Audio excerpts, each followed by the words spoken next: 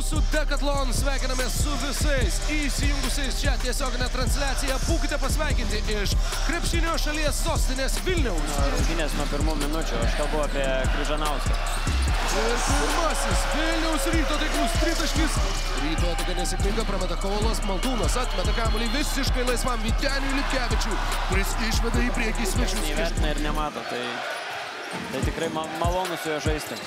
Gediminas Relikas liko po susikeitimo gynyboje su Ardžiai, bet CFLKL pirmenybių kontekste leidžia taip pat a, remtis tuo greitų krepšiniu. Čia gražiai sujudėjo kamuolys.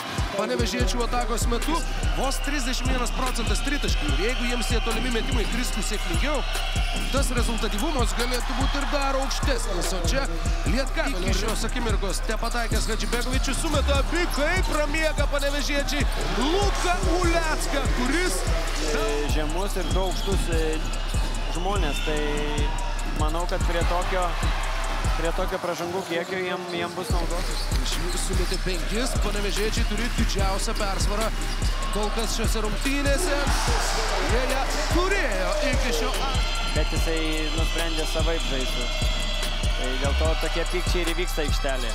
Bet derinys buvo tas pats, tiesiog Būdos aikštelėje neturėjo galimybės atlikti metimą, surado Luką Ulecką, Uleckas prieš Maldūną, Uleckas Masiuliui ir Masiulis iš po krepšio mažina.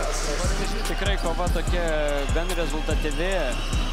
Vėlgi, O, Martynas Varnas!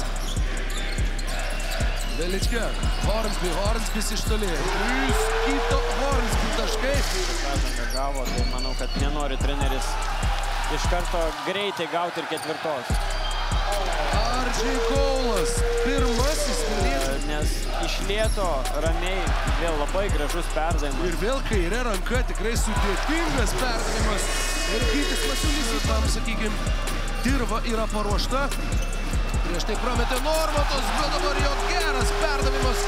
Gyčių Masiuliui. Jis turi pakontroliuoti tą rungtynių eigą.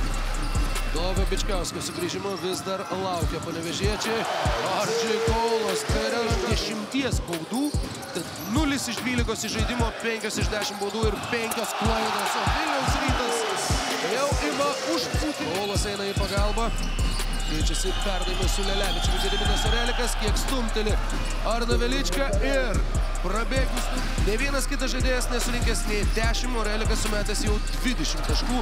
SFP Lietkabeliui, o Džiavinas Delorė savo vis tiek pasiekė. 30 jiem nėra esmės, bet jiem kiekviena taka yra svarbi. Perima kamuolį Vitenis Lipkevičius, jo perdavimas Martynui Varnui. Vienam iš smagiausiai kylančių. Ir dar daugiau pamokų teks parsivežti su savimi į Panevežį. Būtent, kažkiek nepasisekė su arena turbūt. Visada norisi. daryti drąsiau negu pirmaujant ir laimint. Štai tokiu skirtumu.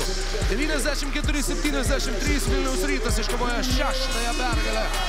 Pailiui, bet CFLKL pirmenybė.